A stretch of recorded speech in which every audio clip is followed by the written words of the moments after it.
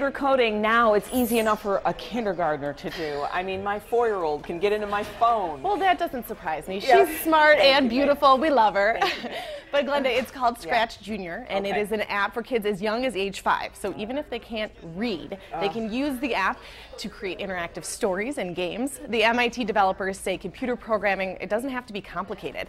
It's an important skill to introduce to your kids at a young age. Why? Because research shows that your kids actually decide how good or bad they are in math, science, and technology as early as fourth grade.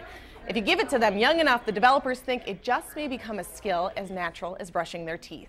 Scratch Junior is free and available on iPad with web and Android versions currently being developed.